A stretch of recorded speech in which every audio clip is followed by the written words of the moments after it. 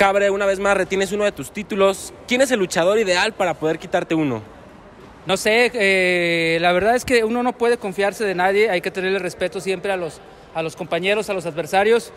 Pueden salir en una muy buena noche y, quitarte el, título, ¿no? Muchas veces yo he sido también el rival más débil en muchas luchas y la gente pensaba que yo iba a perder la máscara, la cabellera o, o los campeonatos y les ha dado la sorpresa. Entonces, creo que no hay un rival fácil. Siempre hay rivales a los cuales se les aprende uno.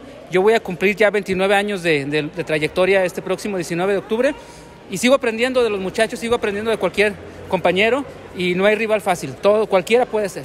Esta noche vimos un macabre más clásico, dejando a un lado lo extremo, pero también arriesgándote un poco en lo aéreo, cachando bien a, a Maravilla Azteca. Todo el público que se impresionó con esta faceta de macabre, ¿qué le puedes decir?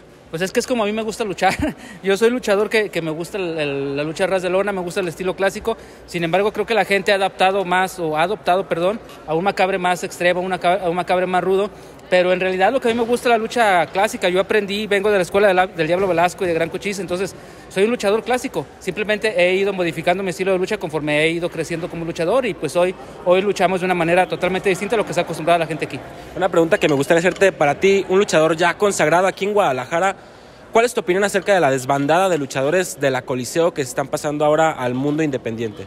Que van a aprender mucho del terreno independiente. Quizás a muchos no les parezca así, pero van a aprender mucho. Se van a enseñar a defender, van a enseñar otro tipo de lucha, van a aprender siempre estando de este lado.